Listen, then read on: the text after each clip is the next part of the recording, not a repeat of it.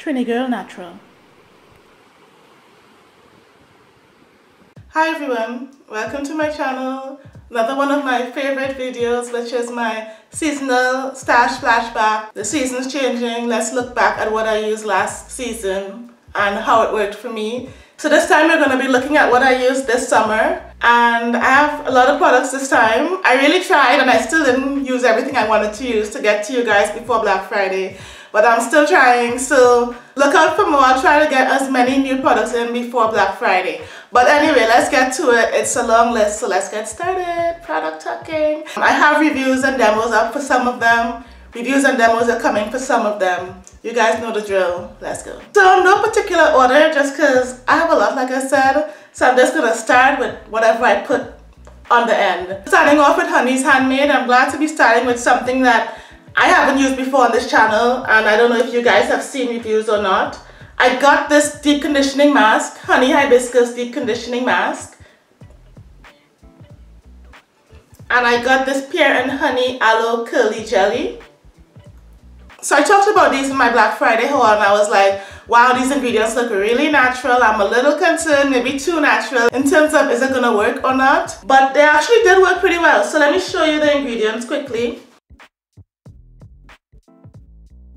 I don't even see any BTMS in here, any cetyl alcohol, any kind of fatty alcohol. So I was like, eek, is this gonna be one of those products that, you know, a little too handmade? Like, is it gonna not have any slip and not make my hair feel soft and so on? But no, this did the thing. My hair felt great, my hair was popping, and I liked it a lot. This is definitely one I would repurchase if she's doing like a big sale. I'll get back to you on my Black Friday preview and let you know her, her sale numbers. But if she's doing a, a good sale, I'll definitely be on it. I'm gonna do a demo and review and this one is coming up, so I'm not gonna go too much into it. But I really like the texture, so I wanted to see if I can show you it. So I'm even gonna take a dip. I don't usually do this in this, but I, you know. I love the scent. I love the texture. I don't know if you can see the little grains. It's like almost a little teeny weeny grainy, but it has a nice creamy light consistency not too watery, not too thick, and I just love it on my hair. Plus it has a nice cocoa scent, which I love. Cocoa musky perfumey scent. It's a winner, me like. And the next one is the Pear and Honey Aloe Curly Jelly. So when I bought this, I was hoping for a jelly, like, you know, like Kinky Curly or something. That's a custard, but I don't know. I don't know, when I bought this, I was hoping for like a gel, like a custard consistency. So when I saw it and saw that it was a cream, I was a little bit concerned, especially again, like I said, the ingredients look pretty simple. But it actually did do a good job of defining my curls and giving me a soft hold. It definitely didn't have a firm hold, so this is not going to give you like a week-long wash and go. But if you want a wash and go for just a couple days, or your hair isn't very kinky, you might be able to try this and get a nice wash and go. It is on the thicker side, so I wouldn't call it light. Definitely on the thicker side, but it's not super heavy and it definitely penetrated my hair well. One caution with this is that I don't feel like it mixes well with other products, so be careful with that. If you're prone to flakes, be cautious with this product. I would just like use it over a leave-in and probably do twists with it or just do like a two-day wash and go. But don't try to like layer gels over it or be careful layering gels over it because you might get flakes. And I noticed that this kind of clearly said this is not a leave-in. so when I saw that, I was like, um, okay, okay, it's not a leave-in. So does that mean it's not moisturizing, you know? But it felt fine in terms of moisture. Yeah, again, the ingredients are really simple, like you can see. So I don't see any gelling ingredient like xanthan or anything. I mean, aloe is a gelling ingredient, but it's a very light, soft hold type gelling ingredient. So I was a little concerned, but it did give me a legit soft hold and it did define my curls. And this is also something I would consider repurchasing. This jelly I consider to be like a cream, like just any curl defining cream. It's kind of on that level. I like creams that define. I like everything that defines since I mostly do wash and goes. So it is something I'll consider. But I do have quite a few creams building up now that fit that particular bracket. So definitely repurchasing this. And I like this and I would definitely consider picking it up as well. I would also give a slight caution that I have seen some people allegedly have customer service issues with her. I didn't have any issue, but just a warning, FYI caution. I'll be repurchasing. Some people have had customer service issues with her, so just FYI. Okay, on to the next. Finally. so next I have this pair from Keravada. So I really love my wash day with these two. They're both styling products. This is the Detangling Curl Defining Leave-In Conditioner. And this is the High Definition Hair Gel. In terms of products, I'll definitely be repurchasing this. This is a nice, lovely botanical gel. My hair feels nice and moisturized. Warning, it does have glycerin. So this is gonna, I'll use it in the fall and then I'm gonna put it up for the winter. But other than the glycerin, my hair is defined, the ingredients are great. Let me show you the ingredients. Great ingredients, great definition, great moisture. Definitely a winner. Definitely purchasing this every time he has a good sale. Loved it. So I also get Ayurveda from Bask and Bloom, but this is one of the other lines that I get some Ayurveda from. So yay for that. So in terms of the leave-in, this is the leave-in spritz sort of. So it does come out kind of solid, but it's definitely a very light leave-in spritz. If you need that extra weight on your curls, don't expect it to do that. It is going to do leave-in things like smooth your cuticle and define a bit, but it's not going to give you that extra elongation and plumping you might want but I do feel like it did a great job with moisture, decent job with slip, and good job with definition. I know I like this, and I probably it probably is in my top two spray leave-ins. I only have like two spray leave-ins anyway, the Jane Carter leave-in spray, you guys know I love, and this. I don't know how spray leave-ins fit into my life, especially a spray leave-in like this that comes out kind of solid, so it's not even a refresher spray. The Jane Carter leave-in spritz, I can use it as a refresher spray. This shoots out kind of solid, so it's not even a refresher spray. Just gotta, it's a leave-in, you gotta use it pretty much like that. Or like if you're refreshing buns and stuff, but it's not gonna refresh your wash and go, you're gonna have streaks all over. So I'm not 100% sure if I'll repurchase this yet, if I can fit it into my hair lifestyle. Great ingredients as you can see.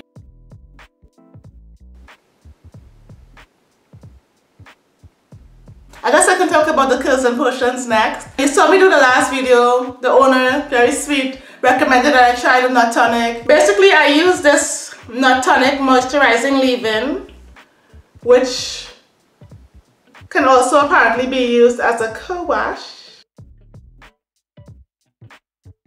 So I decided to be exciting for y'all and use this as a co-wash. Rinse it out, deep condition and use it as a leave-in. So that video is coming up soon. It's a really fun video. It wasn't my favorite as a co-wash, but I did like it as a leave-in. So I could see myself repurchasing it as a leave-in. As a co-wash, it did kind of cleanse my hair, but it also kind of felt like it left a little something on my hair. Which you want for a leave-in, but not really for a co-wash. Then I just used the curling jelly next.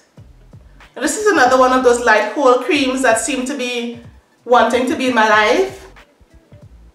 I would say this probably has more holes in it than the Honey's Handmade. I think last time I used it with the curling potion from the same brand, but I do feel like it mixed well and I didn't have any issue. So after co-washing with this, I used this deep conditioner and then I used this as a leave-in. So I love this deep conditioner. This is one that I'll definitely be repurchasing. It reminds me of the Bekura Cocoa Mask, but a lot more reasonably priced. Has a nice light cocoa scent. Plus it made my hair really moisturized and juicy. I think for my next haul I'm going to repurchase this and then maybe try some of her rice water and chebe stuff. I have two of these curling jellies so I like it but I'm not going to repurchase it right away. But I'm definitely getting one of these and we'll see what else. It's just yummy ingredients, really moisturizing stuff. And like I've been saying, I love me my cocoa. And I feel like cocoa is showing up in my life too. So cocoa is showing up in my life. Cream jellies are showing up in my life welcome I guess welcome so then I just used this leave-in this as a leave-in and I used this curling jelly on top and I got a nice big wash and go and I was able to rock it for a few days so I was very happy and satisfied overall with this combo. I guess next I can talk about Moisture Love. So this is the Moisture Love Deep Indulgence Replenishing Conditioner. So as you know I like to use these kind of conditioners as a leave-in this one wasn't my favorite as a leave-in, but it seemed great as a conditioner. It moisturized my hair, it softened my hair, but it just didn't give me that much definition. And it was a bit kind of thick to use as a leave-in for me, for my hair. I don't recommend it as a leave-in, but I definitely recommend it as a conditioner, which is what it's supposed to be for. So if you want nice moisturized hair, definitely try this. It kind of reminds me of the Soultanicals Winter Supreme, I guess. Except the Soultanicals Winter Supreme gave me crazy elasticity as well. But in terms of like thick, creamy moisturizing, it reminds me of that. So if you're curious and looking for a conditioner to try, this is a good buy as well. Next, I want to talk about Sarenzo. So as you know, I really love the owner and I wish I liked more things from the brand. But even though the deep conditioners and leave-ins don't really do it for me in terms of slip and moisture, I do like her cleansers. I have these two cleansers to show you guys. One is the hair cleansing cream, which is a co-wash, but it's a very cleansing co-wash. And I feel like it does like help define your curls just a little bit in terms of, it's not a clear, but it kind of gives you that clear vibe in terms of like definition. So this is one I'll definitely be willing to repurchase. I have a demo coming up soon to give you more information on that. And then I have the clear wash, which isn't exactly a full clear wash because again, it has her shampoo base in it. So both of these have her shampoo base. So I did email her and just make sure that it's pH balanced. So they're both pH balanced and they're both great cleansers. I wouldn't say the slip is great on either one, but as I mentioned in some of my previous videos, I don't really need slip for cleansers that much. So they both work pretty well for me. And I was able to like rake it through my hair, both of them. So it's not like it has no slip. It does start with bentonite clay, but after that is the shampoo base. It's more of a shampoo than a clay treatment. So I wouldn't use it and leave it on forever like a clay treatment. I would put it on more like a shampoo I mean, I would put it on my strands everywhere and stuff like a clay treatment, but not let it sit. Just put it on, get it everywhere, scrub your scalp and rinse it off. It doesn't give you as much definition or weight as a official clay treatment, but it's great as a cleanser and it does add some definition to your hair. I would recommend both of these and I would repurchase both of these. So I had one more thing from her that wasn't a cleanser and you know the things that are not cleansers from her don't really work for me. They just don't have enough moisture and slip for me. This styling frosting. It does have some carbomer in there which isn't my favorite but I won't even say that the carbomer affected me in this. It was just kind of, it was a sitter for me. I don't see any humectants or any kind of thing that would penetrate my hair. If you have normal and high porosity, it might be great for you, but for me, it was more of a sitter. So I am using it when I do like twists, ponytails and buns and pigtails and stuff. I do, I do use it sometimes then to just smooth back my hair. So it does penetrate okay like that as a kind of daily moisturizer, but for a wash and go, it just sits on my hair. The scent and everything is okay. The texture and everything is okay. It's just a bit of a sitter and it doesn't really define my curls much either. So didn't give me enough definition. Didn't really penetrate, moisturize. So unfortunately this one is a no for me. But the cleansers, the Sarenzo cleansers in general, I can safely recommend and I did like using. I just wanted to give a special mention to this combo, the Camille Rose Honey Hydrate Leave-In and the Miche Quenched Hydrating and Twisting Butter. It could possibly have been mostly the leave-in, but I use this on top so I'll mention both. But if you have issues where you're doing mini twists or you're doing protective styles and your hair gets dry, definitely try this. I use this in like my braids where I just, my struggle braids where I just leave them in all week. And then I put this over it and my hair stayed moisturized all week, two weeks actually no drying out, which I hate because then I have to like redo them. It didn't dry out, it kept moisture the whole week. So if you want moisture that's just balm, a moisture balm, definitely try this combo or at least try this leave-in and then try your cream over it. I do want to do a video just highlighting this because it was one of those kind of discoveries like, ooh, okay, moisture for weeks, don't mind if I do. But since we're here, I'm going to throw that out and mention this to you as well.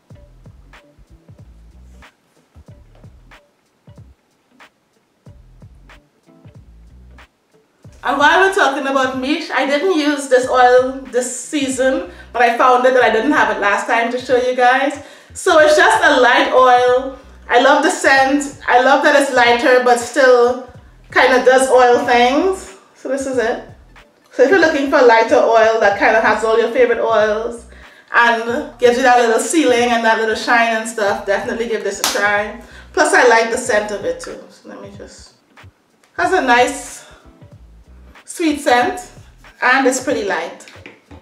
So, and it really kind of does oil things as you can see in terms of giving you that sealing and that shine. I mostly mix oils for myself, but if I had to buy an oil right now, this is actually probably the first oil I've tried, to be honest, but if I had to buy an oil, it would be this one. it was good. Now let's start talking about SheScentIt. I definitely had a SheScentIt summer I used a lot of products from SheScentIt. Love them all. So let's get into it, I guess. I had this green tea and ginseng co-wash, which I loved. Love the ingredients. I love the ginseng. I love the green tea. It was light, cleansing, and defining. Just a complete yay. And I'll definitely be repurchasing it. And I think it's going to be up there as a new staple with the blueberry co-wash. For leave-ins, I used the SheScentIt Cranberry Cream Hair Cocktail, which was my first HG and I still love. Light, moisturizing, defining, lots of slip. Perfect, perfect, perfect. and I use the cocoa cream leave-in, which is a bit heavier than the cranberry, but still very light. Definitely very moisturizing and defining. I want to say I feel like the cranberry gave me more definition, but both gave me great definition. So both of these I would repurchase. They both have glycerin, so they really come out to play in the spring, fall, summer months, and then take a break in the winter just due to the glycerin. And I use this Peach Nectar Moisturizing Yogurt from SheScentIt, which I again raved about. I just love the texture. I love how light and whipped it is. Plus it smells great and it really defined my curls and of course it moisturized my curls and had great slip. So this is one I'll definitely be repurchasing when I finally finish it because I don't use creams a lot. And I use the Curl Moist Conditioner which I love. I feel like I just talked about it because I raved about it so hard. These are the ingredients. Juicy curls, hydrated curls, defined curls. This is just a great deep conditioner like all of she said the deep conditioners are great. I think SheScentIt are my favorite deep conditioners, so cannot go wrong, love, favorite deep conditioners. Other than this Peach Nectar Moisturizing Yogurt, the Pomegranate and Pear is like the only stuff that I've tried from her new, new new, from her new lines that came out. I love both. I want to get everything Pomegranate and Pear this Black Friday. I would have said I want to get this too, but I this is going to last me at least a year. Knowing how I use creams, so I won't repurchase this until probably next year but I loved it just as much as this. Both of these just made my hair so moisturized and juicy. I want the whole line. So let me show you the ingredients.